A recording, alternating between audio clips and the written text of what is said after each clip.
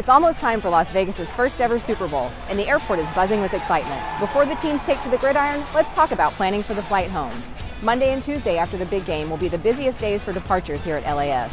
Don't fumble, you can travel like a champion with our winning play. Four hours before your flight, plan your transportation to the airport. Taxis and rideshare services will be in high demand. Anticipate heavy traffic and plan accordingly to avoid a last minute rush. If you're returning a rental car, this is when you should do it.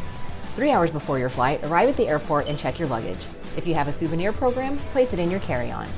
Two hours before your flight, get in line at the TSA security checkpoint. You'll need to remove your souvenir program for screening. Finally, one hour before your flight, be at your gate ready to board. Now you've got the best defense for a busy travel day. You can score an extra point with more travel tips from our website by visiting harryreidairport.com slash Super Bowl.